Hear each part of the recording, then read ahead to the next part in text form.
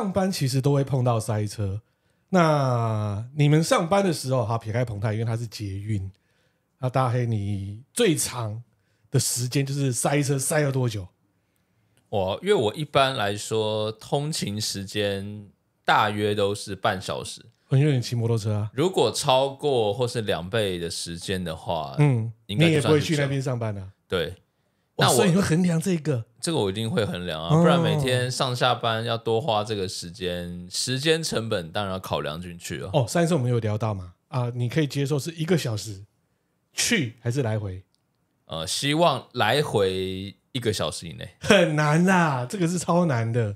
你平均来讲哦，大约我觉得目前应该都是，不管今天是开车、捷运，应该都是四十分钟左右，就是相加大概去一个半小时内嘛。差不多。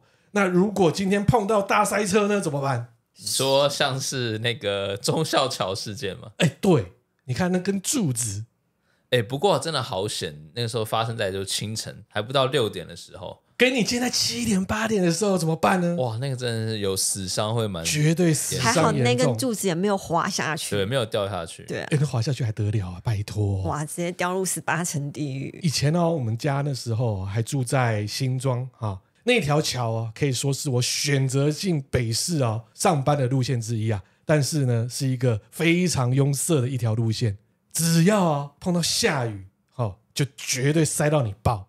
更何况那根柱子一下去，绝对是四五个小时啊！对啊，而且听说啊，也不用听说啦，我们有听众直接跟我讲，他们就在车上呢 review 了我们至少五六集以上，车都没动哎、那天我以前同事刚好在前面，就是事故的后面的公车上，嗯，然后他只好在听我们走路，啊，他走路没听我们啊，就不用抢他了。走路下下桥，而且很多车子就是大众运输都用走的，就是乘客用走的下桥，然后再转达其他交通工具啊。他没有去买个早餐吗？哦，你说路上有个人在上面卖早餐对？啊，对哎、我觉得他厉害哎，这才是我们台湾人做生意的对，做生意的方式、啊灾难财 也不能这样子啊！大家想一下哦，那三四个小时，你又喝了那些饮料，要怎么尿尿？就尿杯子里了。你不是有杯子吗？好像也对哦。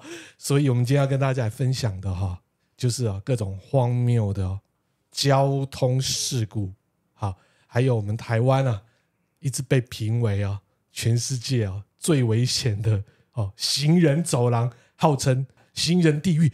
好，记者不读书，吃完热狗，大家好，我是小浩哥哥，我是彭台，这是一个记者生活五四三的节目啊。既然台北市都已经被评比为第一名的啊最新哦亚洲行人地狱，基本上不是啦，行人地狱是我们自己想的啦，就等于说是它是行走当中的阻碍最高的城市。你们觉得走在台北市最受不了的地方是什么？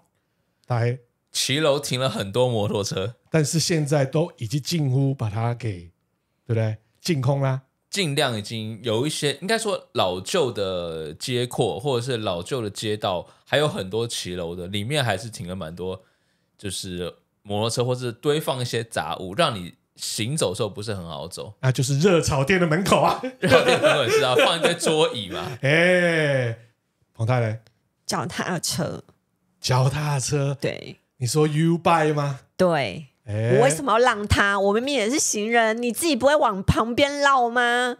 而且我自己认为，脚踏车其实在马路上真的是为所欲为。哎，，真的，是啊，他连红灯他都直接骑过去对啊，啊，他都你，他完全没有在理红绿灯的。啊，比行人还凶。我个人呢也是认为骑楼，但是不是摩托车的问题，是高高低低，盆栽。哦，还有那个那个那个路都我，永远都不会平的啦。哦，有时候还不小心，就是可能摔倒，因为那个落差有点大。而且还有墙的嘞。啊，对，还有对对对对对，对啊，而且更荒谬的哦，不是台北市，好像在哪个县市，我看有人 Po 文，他是哦，就是给身障人士啊，就是可能眼睛不方便的人士有那个，对不对？下面有那个让他能够导盲砖嘛。这样导盲砖呢，既然出现了两个，就是栏杆阻碍你，那这样我们消防旗，我们肖老师要怎么办呢？对不对？怎么跨过去呢？而且今天更夸张，我好久没有直接骂路人，骂路你为什么人骂路人？呃，应该是说骂驾驶，因为啊，我们工作室下面不是有停车位，那白天是空的，可以轮流停。那主要是前几天呢，因为有去拍影片啊，相机呢都在那个车子后面嘛。我想是说相机也重，那干脆就先停一下，然后下个装备，然后把它拿到工作室上去。好，我拿上来之后呢，赶快下去准备移车停到我自己的停车位哈。结果前面被一台车挡住，然后就奇怪，你干嘛挡我？然后下来的是一个阿伯，我说：“哎、你不要挡啊，我要出去。”他跟我说什么很好笑呢，你等我一下好不好？我只是去送个衣服而已。哦，他送洗衣服啊，我跟他等他干嘛？你违规，我要等你违规哦，很诡异吧？他我说我要出去，他说你等我一下，哦，但是你有赶时间吗？我就说你那个乱停车，你还要等我一下干嘛？如果你没有赶时间的话，啊我觉得没有，可以通融。你违规耶、No，我觉得你今天你也会像他的样子，稍微停一下。那我不会你当下会怎么样？我当下会移开啊，我就叫他移开啊。他本来是不想移的欸、我只叫他往前移，他还是违规啊。只要让我车子出去啊，你今天去啊送衣服哈、如果说去干洗花十分钟，我不是在车上等你十分钟，对啊，确实还是要移开啦。不过就移开一下啊。这个也是觉得很好笑，就是说他把你晾在那边，你违规关我屁事，你就挡到我这里了。而且还前阵子哦，还发现是停一排，因为我们刚好那边呢不是是做那个道路维修嘛，还把它全部停一排，好像真的就是把那个潮化线当做停车格，而且你暂停就好了，还可以暂停，不是暂停哦，停一个小时哎，对啊，所以也不要说什么行人地狱啦，我们自己来看哦，有些驾驶就是那个样子哦，就跟骑脚踏车一样那种为所欲为为所欲为啊！哈，刚刚我们都有聊到最杜烂的 U bike，再来就是呢，哦、我们要讲 U bike，我们要讲说非常没有礼貌的骑着 U bike 的那些人，还也有不一定就是 U 拜，只要只要是骑脚踏车的人，我就觉得怎么可以这么为所欲为？因为呢，除了酒驾之外，好像没有其他的罚款可以罚他。还是有吧？他们现在也要戴安全帽啊。没有了，你看哪个 U bike 要戴安全帽啊？好像好像没有没有啊，所以他可以为所欲为哦。那另外刚刚有聊到就是骑楼，骑楼的产生就造成没有人行道，但是又很尴尬了。好不容易他清出人行道，你会觉得说他又把道路缩了，哦，对，有时候现在不是很多路上会在那种旁边漆那种绿色的人行道给你走嘛？对啊，但这样子路的宽原本就不够了，你又缩啦、又就变更小了。对，所以就整的很尴尬啊。那为什么我们台湾的市区没有人行道？大家知道吗？不知道，对不对？好，主要就是哦，因为台湾没有人行道，归咎于人口密度高，腹地不够。好、而且呢，基本上蛮多一些哦小城市市区哦，例如是哦云林北港啊，或是台南新市区、屏东的哦里港乡这些呢，基本上它本来人就很少，腹地也不多，当然所以会造成我干嘛要人行道？所以变成人行道在台湾近乎好像大家来看哦，有些人行道是硬化上去的，哦，就刚才大黑有讲的，就突然跑出一个绿色的那一个，而且那绿色那个、哦、很容易会害骑摩托车的人滑倒啊，大家都知道吗？对，那个好像比较滑一点点。嗯对，所以就很尴尬啦。再来呢，台湾的交通过于复杂，因为我们台湾哦，并没有像好像日本一样啊，大众运输他们的地铁啦，或是说这电车哦，相当方便。哎，他们的方便跟我们的方便想法也不一样啊。他们的方便是说，你今天离你的车站走路，或者是哦，更重要是骑脚踏车，十五到二十分钟是方便的。哎在台湾不是哦，对不对？你今天叫彭泰说好，在我们家骑 脚踏车到火车站二十分钟，你要？你先给我骑下山，再爬上不山。我你之前有买电动，你忘了吗？呃，那个没办法，为什么？你那时候不是说会飙？我告诉你，哪会飙啊？那个是 电力跟脚力要合一，它才有办法跑的。嗯，太老了，那个是十几年前，现在不同了。所以如果说是以这个距离来讲呢，日本人会说很近，但对台湾人来讲呢，好像就真的有那个距离啊，不如卡个欧多拜。那卡欧多拜呢，到那边的时候会发说，想说那还不如直接骑到公司好了，对啊或，骑到目的地，所以就变成说我们的人行道会特别的少。你有没有发现乡下的地方？那天我才跟那个我的闺蜜院长去吃饭，她说她妈妈出车祸，呃，应该是她阿姨出车祸，她只是倒热色，在一个转角入口而已，她也骑摩托车，就是不愿意走路。很多都这样啊，所以台湾人已经养成，哪怕只是去个巷口，他也要骑摩托车。就像有人叫 Uber Eats，他明明去那个 Seven 就斜对面的，他还是叫 Uber 他 Eats。都已经缴了服务费了，他当然他当然只是叫哎，Uber 对 Eats 耶，因为它里面的价格基本上跟买吃的不同啊。嗯，对啊，那是属于就是民生的用品，所以它的价格是一致的。对，那我今天既然都已经超过一九九，如果以 Uber 来讲，那当然它叫很划算，而且送到你楼上。对啊。那我以后会为什么要自己出去买，然后提着大包小包回来？那我会要这样子，对面你终于懂我的意思了吧？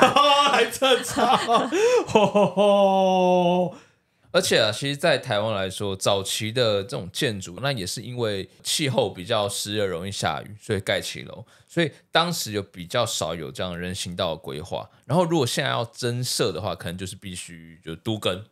对啊，但是都更的话，看看现在，比方说，我以呃市区来讲，市区的以我们这一栋啊，这边还有太多地方要都了，都不完呐、读不完，而且重点是呢，可能我当阿公哦，我们现在这一栋哦，可能还不会都更呢。而且这已经在市中心的地方了。对，它已经四五十年的历史哎。是啊，所以像比方说从化区，很多外县市的从化区，或者是呃一些那一种有重新再去设计，比方说街道或者是那种街区的地方，它那个人行道或是跟那个住宅的这个退缩就会比较舒服一点。嗯，但是若以市区来讲，困难度就很高啊。尤其如果我们到台南，台南基本上它的路就比较小啊。而且台南好像连路边都不太能够停车呢，不是停车格好也不是很多。啊，就桌子、椅子，呃因为它基本上它不会那么有规矩，呃，不是说规矩啦。哎呀，哎呀，哎呀，我不是站台南啊，我很站台南是因为台南人基本上停到哪都 OK 啦，所以有厂商啊，就是我的好朋友的厂商啊，哎，有做智慧停车格啊，但是发现的停车格都没没人在停，因为大家都嗯都很守秩序的维持台南应有的百年古都传统，他会不会讲话？不会讲话，对不对？嘿嘿嘿所以就很尴尬啊！我要发展智慧城市，就弄到最后呢，好像人文比较重要哦，所以会碰到旧有的城市规划跟新有的城市规划，那两边的两难哦，就有在这里啦。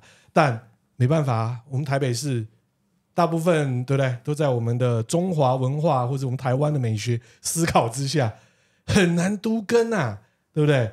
楼下都已经租满了，我怎么可能想要让你都更呢？所以会造成这样的问题嘛？像大安站那边不是有一个那一个很大的一栋哦，有两个哦，一个空空荡荡的，另外一个是菜市场下面有吃的一堆啊，哎，那个根本不太像台北市应该要有的建筑物哎，但也无法都更啊。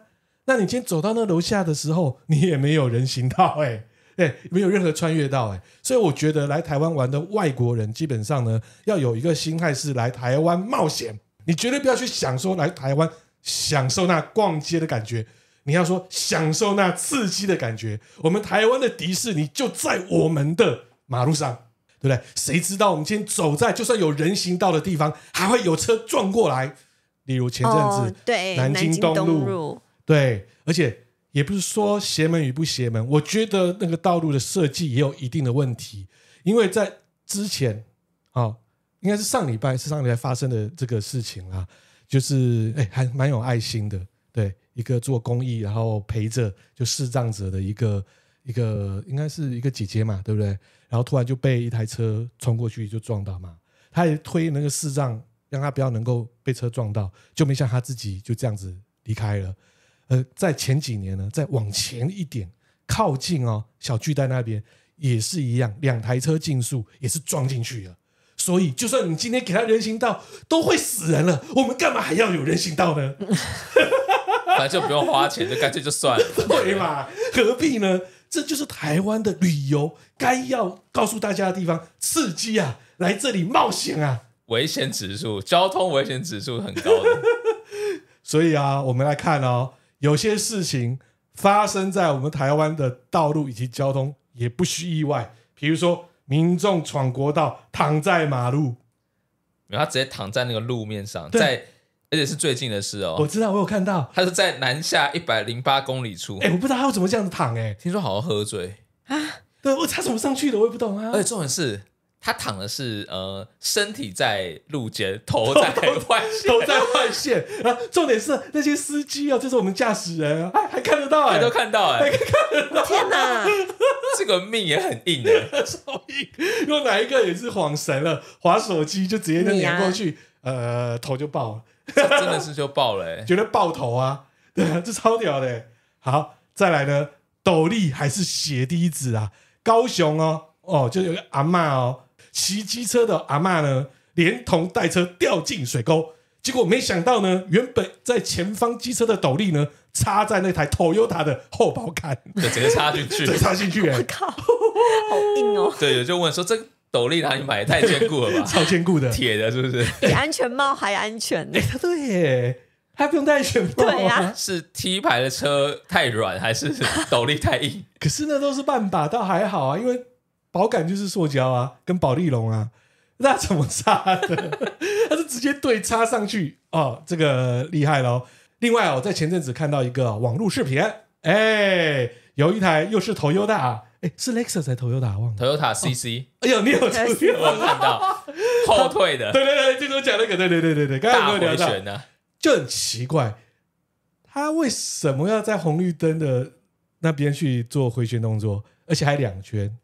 然后没有，他好像是要左转，但是左转那个角度对没有没有抓好，然后撞到好那个旁边的那种分隔我想说是，要甩然后，撞了之后，他不知道怎发生什么，可能一紧张，然后变成一直转圈圈啊。他就一开始我记得好像他先开了雨刷，然后后来就可能打，可能想要倒退吧，嗯。打倒退档，但但是可能脚都不听使唤，油门就一直踩着，然后就开始一个大回旋，那我觉得比较荒谬的是，有两个骑机车，还是一个骑机车的，然后就一直看他回旋，然后最后也被 然后最后他被撞到撞了、到他怎么没有想要赶快先没有啊，他可能说哦，我在看什么？看？戏吗？真的是对啊看戏，这就是一个我是觉得蛮荒谬的事情啊，对啊，因为台湾的道路上面哦很多荒谬事，比如说开一开啊，也有可能直接就掉到田里啊，哦，哦，而且你说那个阿贝出事了那个，阿贝出事哎、了、说实在，田里这件事情啊，很多骑摩托车骑一骑就会掉到那个田里的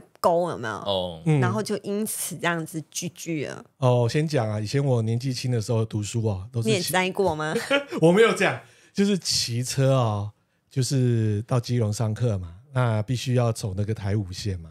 但是那时候是已经有新台五线了，大家也知道新台五线呢，因为离基隆近啊，有很多货柜车啊啊，那那个货柜车厂呢，就沿这就是在新台五路附近啊，可能就五堵、六堵、七堵都有啊，就常常有一些有一些憾事，比如说有一定的时间就会看到有人被碾过，呃，对，还有呢，这也是真实事件哦。本来有载人，就载一载载一载，回到家后面人不见了，就为什么？摔出去，摔出去，他在呃，倒还好没有死，就就是跑到水沟里了。对，所以那边那时候呢，因为有人喜欢，就是那边速度感极佳，应该说那个马路给的速度感极佳，就会去冲，所以那一条路就很奇怪，只要一阵子就会发生一些很奇怪的事情。哦，就真的有，呃，前阵子也是一样，好像是去年还是前年，就是有警察就是要去追，好像闯红灯还是什么忘了，结果他也是在那边出事，撞到路边还是什么，还是被人家撞，就就这样离开了。所以那条台新台五线呢，还是要慢慢骑，但是就是会发生说啊憾事，要不然就是哎人不见了，可能就是甩出去，或者说突然在哎好像就不见了。回到家才发现说，呃，我女朋友嘞，我马子嘞，这有点夸张啊，人都不见了还不知道。刚才都想要机车或是说汽车，其实人力电动车也会发生事情，比如说前阵子有博朗大道，你们有看到那个视频吗？我知道，一起说耶，看一下，然后就呃，再开进去了。一家人很开心啊。但是我觉得比较衰小的是谁？就是阿妈抱的那个小小孩对不对？还飞起来了，还飞起来，一下子飞起来。我说那个才娃娃才几个月耶，对啊，哦，阿妈也很不认真，那边边夜抱小孩又划手机啊、所以常常会有这样子的意外啊。我们台湾被人家讲说鬼岛，不用怀疑啦，就是发生这么多的事情。但是鬼岛归鬼岛，我们来看一下呢，有没有其他国家比我们还要鬼的，好、的交通离奇事情。先看印尼哦，哦，骑车撞屋顶，离奇车祸有多离奇？好，根据印尼的媒体哦，他的报道啊、这个就是日前发生的事情，在西爪哇的打横线，哦，果然会打横，一定出事就打横哦。的村庄里面呢，两名女孩原本骑着摩托车，突然在下坡的时候呢，摩托车失控撞上旁边的屋顶，连人带车卡在屋顶上。他命也很很硬哎、哎这样没事。这个我有真实碰过，年纪轻的时候，不是我，那时候我玩车嘛，就玩的很凶，改车也改的很凶。然后我的停车场呢，就有一个应该也是工读生，应该也是大学生，他也开始玩车。那我那时候是玩欧系的钢炮车，他是玩日系，但是不是喜美啊？喜美我有玩，他不是喜美，他竟然玩 March，但是改的很凶哦。他就说：“哎、今天晚上有没有空啊？看你的车应该也是跑山路的哦，一定看那种改法。”我说：“对啊，而且有的时候看你哦，好像回来都比较晚。好啊，那么晚上约一下。”我说：“OK 啊，就约啊。”我再约我一个朋友啊，我们三台车一起去五指山，先从外双溪上去，然后我们再去呢从大湖山庄下来。我就觉得这个路段很奇怪，因为我们正常是从大湖山庄上去，下五指山的话，应该会去选择的就是从戏子戏万路。他既然要这样约，我也没关系，因为从那个外双溪上去哦，它的那个坡度比较高，很快就急上去，弯道也比较过瘾，也没关系，就陪你玩。上去之后，大家都有买饮料，觉得说啊，好开心哦，就如何？我想说，哦，March 还可以这样子玩，吃了我屁股一下也不错啦。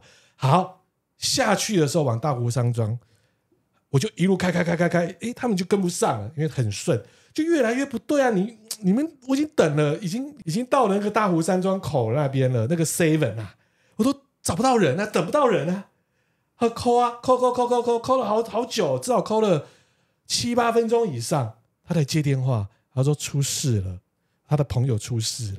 我说干吓到，什么事？你先上来一下，看怎么处理。好，我就上去了，很了不起。他整台骂区呢，就开到人家的屋顶上了。哇，因为他是因为他是下坡嘛，对不对？旁边有车嘛，他过弯不及，他就直接冲下去了。哦，那刚好那下面有房子，人房子家就刚好就是人家的那种，那山上的房子就是那个样子嘛，像我们乡下一样一，间户一间一间户嘛，就他跑到人家一间户，把车子停好了，当停车场哎、他就没有说停的刚刚好，就是反正就是一半就已经在人家的楼顶了啦。然后我们就帮他去找拖车，帮他去处理起来。但我觉得他朋友觉得已经很丢脸，从此之后也没跟我跑过。所以呢，印尼哦，这个事情我是觉得不意外。你，只要是斜坡或是如何，都会发生这样子啦。还有，我们来看啊、非洲果然是大草原啊，机车撞上客机哦。哦，这发生的是在哦几内亚哦的机场当中哦，有一班航班啊，而且是 A 三二零的客机，预定的时间哦晚了一些降落，然后呢，在跑道上面滑行时呢，意外呢撞上一台载个两位啊，就是机场人员的机车哦，然后机车在跑道上被拖行了一段距离，期间还被吸入到客机的引擎，我操！哇哦！那当然，都已经吸进去的人一定有问题呀、对，但是你们想过，为什么会有摩托车在降落的时候跑到在上面骑？没办法、啊，塔台可能认为应该太忘记有飞机要下来啊。就像你怎么讲，今年年初还是诶，今年年初嘛，羽田啊，羽田机场啊，对那谁知道会撞上去啊？对不对？飞机撞飞机耶，而且是一个降落，一个还是在那边呢。嗯，那谁知道发生这事情？可是厉害的地方是撤的超快的，对对不对？他那个紧急应变是蛮对啊迅速的，，所以不要以为安全的地方永远都是安全的。还有印度呢，有个离奇的、哦、空中事故，飞机撞上了四十只红鹤，造成机身受损严重啊。然后在孟买的国际机场全面的维修，简单来说就是撞上鸟啊。对它好像飞到那个红鹤的保护区，为什么它飞到那里？不知道可能那边印度很多雨林吧，不知道，反正就飞过，因为孟买那边有一些湿地、一些海岸啊，它是红鹤的那种栖息地，那刚好飞过去，然后它是那个阿联酋的飞机，然后飞过去，然后旁边有一些就是刚好有鹤飞起来吧，所以啊，坐飞机哦，降落、起飞危险之外，有的时候也会到这种很奇怪的地区。而且现在哦，因为气候变迁，乱流变多，哎，真的哦，嗯好，像有，对，所以大家坐飞机的时候还是系好安全带。就没有事的时候还是把安全带系着吧。对对对对，还是要系着，要不然突然一来的时候啊就不知道发生什么事情。我记得前几天有看到一个好像是一个新闻，就是说忘记是哪一个长荣航空航空哦，对，然后他就遇到一个很大乱流，然后那个哇那些呃餐点啊餐点啊，整个东西散落一地，哦整个打翻啊怎样的？可惜呀、为什么可本？要吃的都没啊，了。对啊，没有错，对啊，所以空姐很辛苦啊啊！大家就记得哈，坐飞机离开位置啊，上厕所之外，其他就是哦，安全带系好。那刚刚讲完了，就是关于路面上的嘛。那路面上我们还有遇过哪一种？就是火车。哎，你有火车你们有遇过火车的事事件故吗？当然不希望能够碰到那个啊普悠玛之类的、啊。哦，那个真的是很严重了。对啊，而且前阵子也不是前阵子哦，最近只要搭火车到花东，都很容易碰到这，就是有石头之类的。啊，山崩之类的。对对对，所以就会停个什么半小时、四十分钟，哦，而且速度变慢。上上个月我本来要开车回花莲，就没想到呢，就到那个汤方的地方，我才知道说，原来一天哦只给三个时间点放行。哦，是哦，对，所以白白的就是跟老人家啊，书啊都还没有亮完，就直接又折回台北。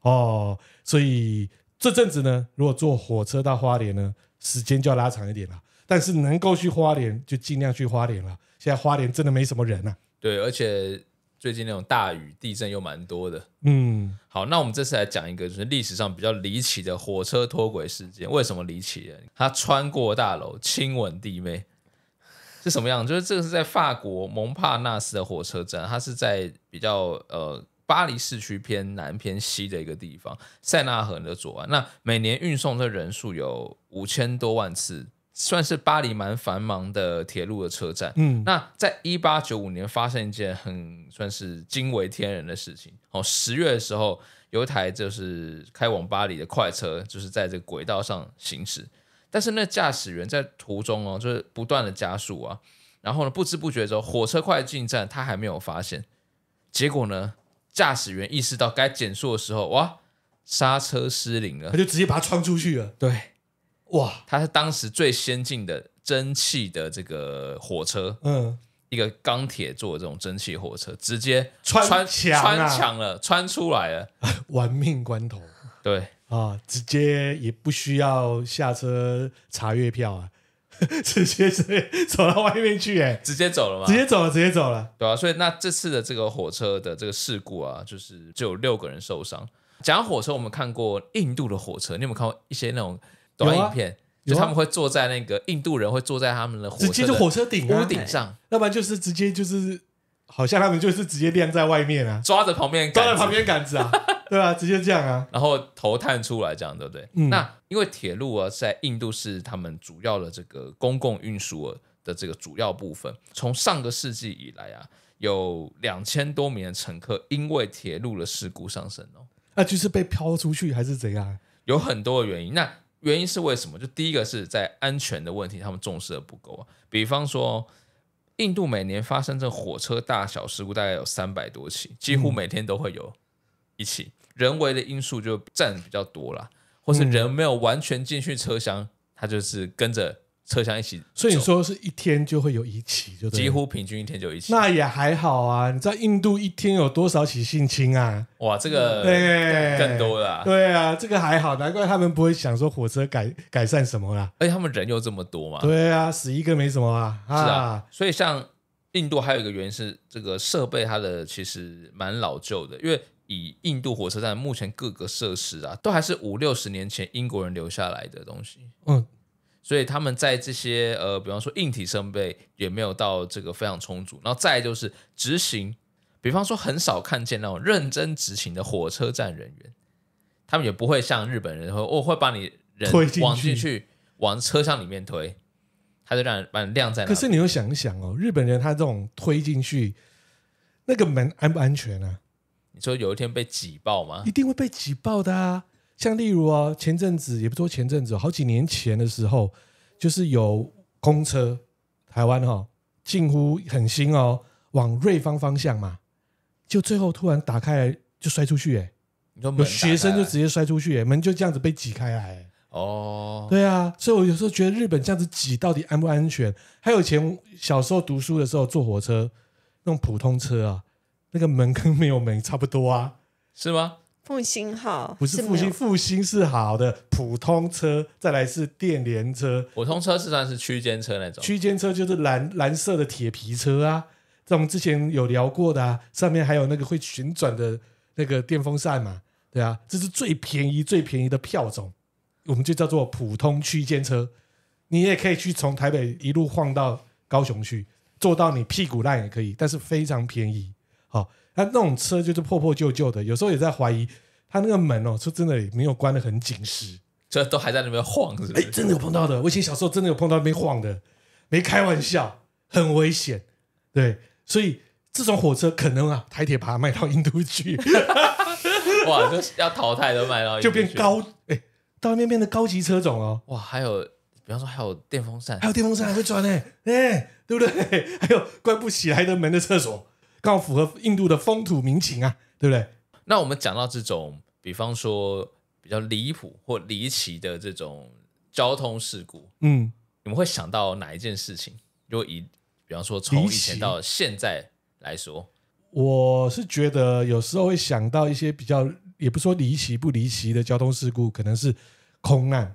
啊，因为像我跟彭泰啊，没有啦，我的年纪啦，哈，我的年纪来讲呢，那段时间像小孩子的时候，或是说学生时候碰到听到的空难，都是啊，可能把民航机当做战斗机，所以没事就会发生空难，对，对不对？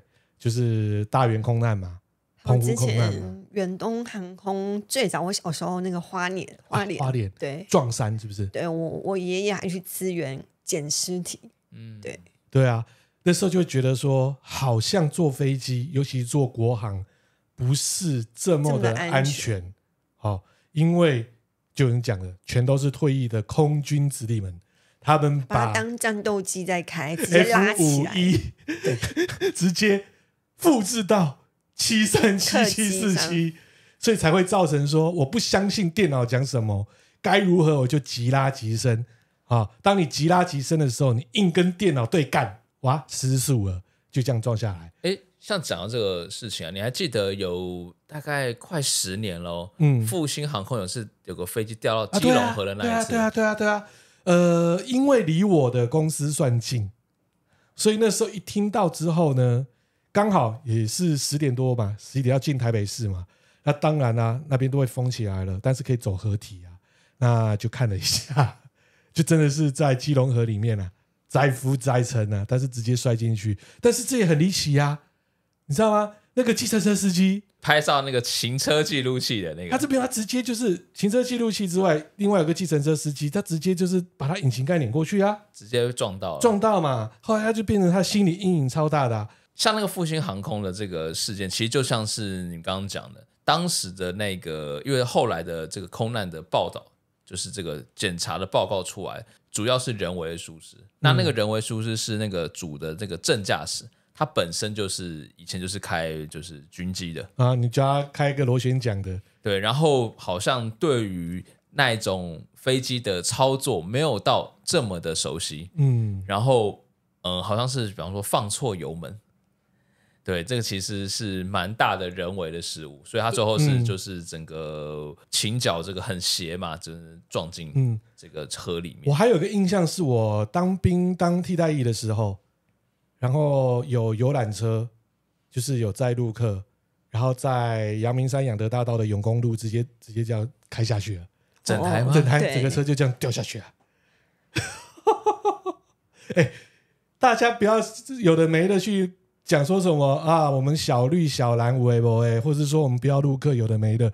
其实陆客来我们这里啊，死伤也惨重哎、哎，之前那个有个什么蝶恋花，对啊，是不是也也是中国的？对啊，还有来哪里，然后发生哦，到花莲也是发生事情啊。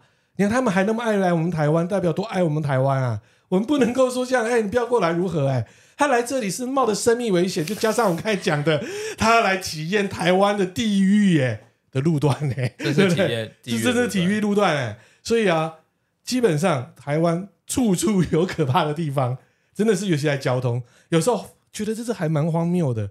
呃，像例如哦，我小时候也会印象的是说哦，有那个时候是因为骑摩托车不用戴安全帽，但是好像戴安全帽之后事故反而更多。因为感觉比较安全呐、所以可以骑快一点、冲啊。冲冲！对啊，我觉得有时候觉得很奇怪，像我们之前有跟大家聊的嘛，对不对？大渡路时期哪个戴安全帽？那时候死的多吗？没有嘛。我相信，好像现在在马路上面死的很更比较多吧。好，尤其到了放假的时候啊，大家来去看一下北移啊、重机啊、N 家啊，哦，追焦路线啊，对不对？追一追就滑倒啦，直接跟车直接就撞到山沟啊，直接就拜拜啦。所以台湾最不缺的，基本上呢，就是行车记录器里面的画面。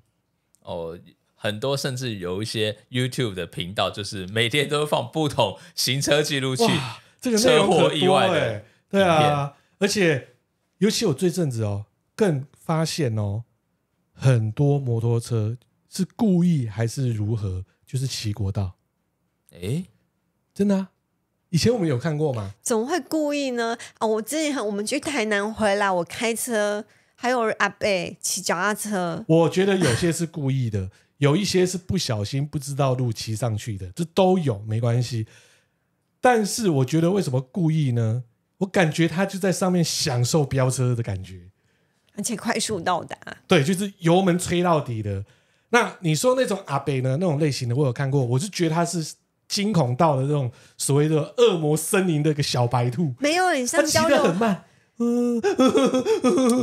你骑脚踏车上交流道一定有坡度吧？你怎么骑得上去？摩托车啦，小姐，不是骑脚踏车。那我看到是骑脚踏车，我还 叫你我还叫你耶。骑脚车真的是很荒谬呢。哇塞，这个这个太荒谬了！但是我真的有看到，就是感觉他是很紧张，我是觉得他真的不小心骑错的，以及他真的是故意的，就给你呸到底那一种。有一些会不会是有可能？我来猜啦，比方说是快速道路要接国道的，对然后他可能没有下出口，他以为有继续连着吧？而且还有就是它的交流道看起来就很像一般的桥梁，对一般桥梁道路，例如细子一高的交流道，常常就会看到有警察那边真的可以拦到机车诶、就不小心就开上去了。对，因为它上去就是一个桥，旁边呢，哦，就是很破旧的两层房、三层楼，对不对？的房子，所以让人以为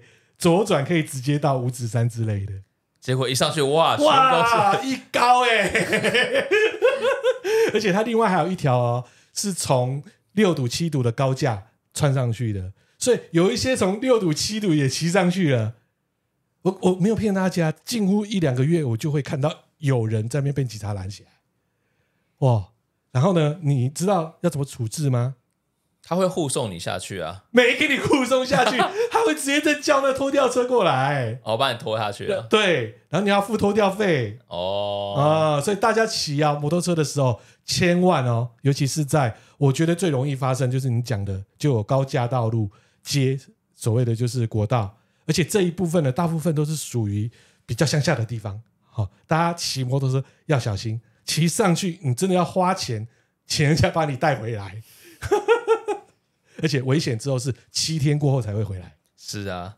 那刚刚讲到关于一些航空史上的这个空难的事件，其实航空史上有一件事情已经过了十年了，嗯，到目前还是一个悬案。啊，就马来西亚那个啊，对，就是马航 MH 三七诶零。前阵子好像也有纪录片还是什么对，在 Netflix 上面有纪录片。这个这个剧情真的是不会变诶、现在已经过了十年多了，这个目前的这个谜团还是没有被解开。你相不相信？过了五年，甚至明天，说不定那飞机跑回来了。我很多人都有这样讲，说他可能是被藏起来了，因为比方说连什么残骸啊，呃，不完全是。对，或者是疑似残骸东西，但是都没有大片的。哎跟你讲，Netflix 都演了，都已经告诉你了。我们有一个戏剧啊，它就是突然消失十年又跑出来了。你说像跑进一个飞进一个虫洞之对，然类的后，他他他们认为都没有发生事情，降落之后大家都吓到了，说你怎么回来了？当初的小孩子那么小，小孩子变那么大，对不对？说不定他已经进入了虫洞的空间。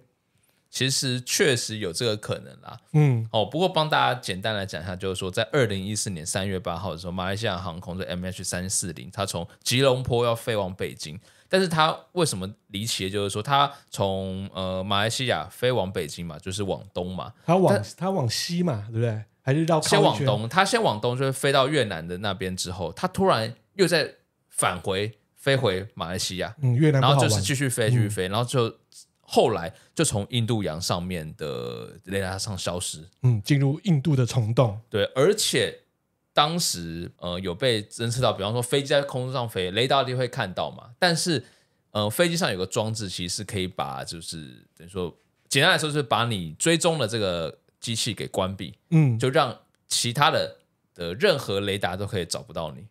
对，所以当时这个被关闭这件事情，就有人把这个矛头觉得说这个罪魁祸首应该是在是机长。有人说机长就是想要自杀，说他什么精神不稳啊，还说什么家庭状况。那时候大家都开始有的对，就把矛头指向他。嗯，但是后来也说没有完全的这样直接的证据说一定是机长，虽然机长家里还有被发现说他有模拟一些当时他嗯，航行他航行的那个一些画画画面，用模拟器。模拟器啦，微软卖的那个微 软。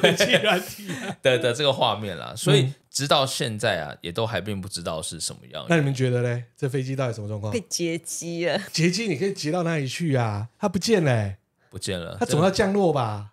海底铁另一个铁达尼号，它已经海底捞很久捞不到哎、真的是捞不到，捞不到啊！所以我觉得应该是虫洞吧。而且那个时候在澳洲啊，还有一些什么那种有个什么海洋无限公司，嗯他说他势必一定会打捞到，没有捞到他可以不用付他钱，但他没有捞到啊、捞了三年多，打捞啊，或者是去探勘探寻，所以他十周年了嘛。对，已经十年了，所以前阵子他的家属又说希望能够重启嘛，所以马来西亚的政府好像又要准备花钱再去找。那你们觉得这样找有意义吗？嗯，我觉得现在去找是为了一个科学的实证，或者是想要一个客观的一个解答，并不是想要让认为说人还可以活下来。啊，没多久就飞回来了啦，对不对？小孩子都变大了，对，但我们不知道嘛。不过在这个期间，其实最主要还有一个问题，就是马来西亚这个当局形象跟他的一些状况，其实并没有让大家这么满意。嗯比方说，他当时事发了首几个小时的时候，他们就有去询问他们这个说有没有联系到这台飞机啊。然后那时候还有说，哎，他有没有在好像在可能迫降到哪个地方，柬埔寨还是什么地方？其实根本没有飞到这个地方。然后结果后来是马方后来宣布说，哦，他可能是在呃南部的南中国海地方坠机。结果最后实证说，好像也并不是，好、其实是在印度洋。所以刚开始大家还把资源全力投入在这个南中国海，嗯，对，所以马来西亚整个政府就是好像完全并不知道发生什么事情，根本像无头苍蝇一样乱找东西。嗯，所以让家属非常的不满。好，那讲到这个，刚刚有说到冯泰有提到这个铁达尼号，其实铁达尼号也是一个蛮荒谬的事情。撞冰山啊，诶，撞为什么撞冰山嘞？呃，你问罗斯，你们觉不是啦，电影上是演说那个观看的人就是呃觉得很冷嘛，有点打瞌睡嘛，嗯，然后看到的时候来不及，来不及啊，对不对？嗯来不及撞嘛，然后就是擦撞到这个冰，就是这个冰啊，就是冰山下面的一角啊。对冰山一角嘛，就擦撞到右边的这个船的的地方嘛，然后造成它的沉没。但是呢，你们知道，其实铁达尼号这个事情也是会有阴谋论。什么样的阴谋论？就是一九一二年沉没的时候，它其实震惊了全世界。但近几年有很多阴谋论者在提出怀疑：铁达尼号真的沉没了吗？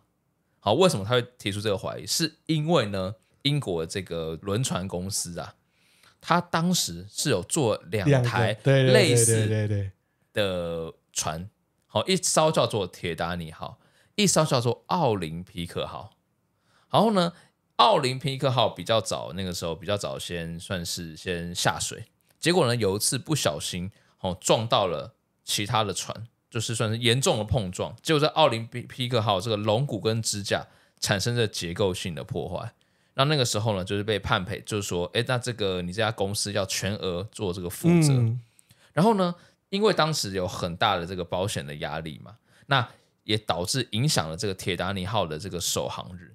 所以呢，其实阴谋论者就认为说，当时白金公司的这个轮船公的人，他其实巧巧的把奥林匹克号跟铁达尼号做调包，就是说，一九一二年这个四月的这个处女航开出去的其实是奥林匹克号，并不是铁达尼号而。且船本来就有问题对，船本来就有问题了。啊，就让你直接发生问题，可以真的保险了。对，上面也有人，对，嗯嗯，他是不是就可以领到一笔巨额的保险金？他就可以去补他之前这艘船撞到其他船的那个时候的理赔。我觉得以那个年代来讲，这个工程太浩大了。确实是很好了，但是有很多的这个人去把他的每一个船上面现在打捞到或是铁达尼号那个照片，嗯。比方说上面的这个窗户有几格，嗯。然后中间间隔多少是有几个窗户，房间长什么样子，跟铁达尼尼号是不同，不一样，但是它跟奥林匹克是一样的，那没有沉的那个铁达尼号在哪里？不知道，搞不好藏起来啦，很大一艘哎、很大一艘啊。一百多年怎么长啊？除此之外，当时他撞到冰山的时候，很多甚至是可能在距离沉没地点其实不到一小时或是几小时内的这个航行距离，其实旁边的船其实都可以到，但是那些船却不为所动，眼睁睁的先看你到底有没有沉啊？铁铁达尼号先沉了，哎他们才过去救援。换个角度来讲呢，说不定就是想要看那个船公司倒闭啊，哎，对不对？让你沉嘛，就算没有掉包，说不定就是有这样的想法啊。毕竟那时候它是最大的船嘛，对不对？而且那时候的人命不值钱啊，啊，我的船干嘛要去救你们这些贵族？哦，有可能我可以敲你竹杠，但是以那个社会的氛围，我觉得你就发现一百多年前的人命跟现在的人命差在哪里？那时候人命不值钱啊，是，啊，所以我干嘛花这个力气去救你，对不对？如果阴谋论来讲，也会这样子来想啊。是，所以像刚刚讲的，就是那种旁边的附近的船只，有一艘叫加州号，他当时是从伦敦出发，然后它也是要往就是往美国这边去，但是呢，他那天的时候，他拒绝了上百位想上船的乘客，他却载了三千件毯子跟保暖衣，他并没有载人，他是载了很多运送物资。他怎么知道？对他为什么会知道？对，所以他这保暖衣物，有人说他是为了救援铁达尼号乘客吗？还是怎么样？鬼影追追追，也就是非常的离奇嘛。而且我们有看到在那个电影里面有演，当时那时候首航的时候，是不是上面坐了很多就是有钱人，嗯比，方说呃那家公司的老板啊，或者是一些富豪啊是等等的。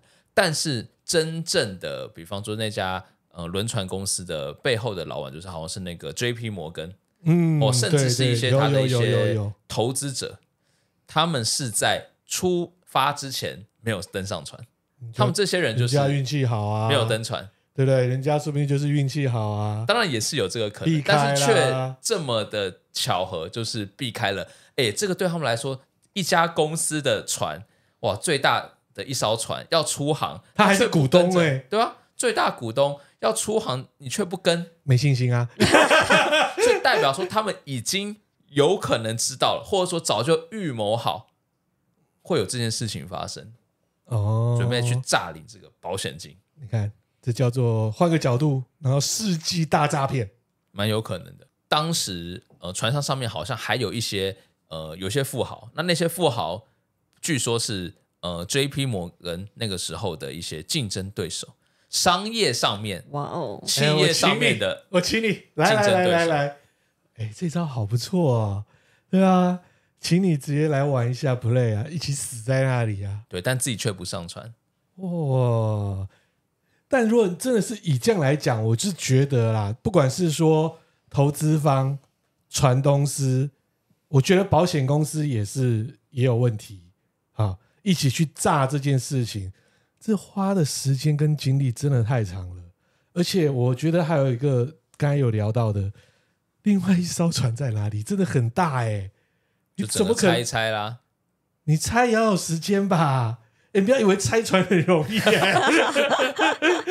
对啊，你把它拆下来之后要收到哪里？所以这个都是后面去猜测的一些的事情啦。所以啊，古今中外有这么多的一些啊交通鸟事件哦，还是要告诉大家啊，交通大家自己要好自为之啊，尤其是在台湾啊，因为台湾处处是惊奇啊。对，尤其是像过马路的时候，这边真的要呼吁各位听众啊，就是你过马路就好好过马路，不要再不要给我刷手机不，要再哎你划讲几次手机了。我很少，我很少，我现在看到很杜烂，我还扒真的不要刷手机，你就赶快先走过去不是再说。你刷手机，你你你可不可以快一点？而且最主要，有时候很多车它可能真的很多人讲说 A 柱死角，转弯的时候真的没有看到。对啊，这是以行人来讲，我现在是以所谓的就是驾驶来说，你不要认为说红绿灯我一定右转要让你，等你是没错，我一定要等你走过去之后才过去，但是你不要一直让我觉得你就是那边走秀，就慢慢走，还划手机走秀。这，不这不夸张，我曾经在那个松仁跟新一入口，就是那个五宝村的那个入口，嗯，我看到那个行人拉着那个行李箱，他就突然哦，所有的公车都要右转等他，他突然就走一走停住，你知道他在干嘛吗？他拿手机拍一零一，那你这还好，我还看到了，就是直接在那个路段哦，请她的男朋友帮她拍街景、拉行李的样子，搞 IG 照啊。